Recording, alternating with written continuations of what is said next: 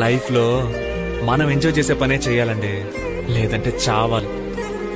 నేను పైకి రాకపోయినా పర్లేదండి. కానీ జీవితంతో నాకు ఇష్టమైన పని నేను చేస్తూనే ఉంటాను. మనసుకి ఇష్టమైన పని చేయడానికి ఎందుకంటే కోర్సు గీర్సు?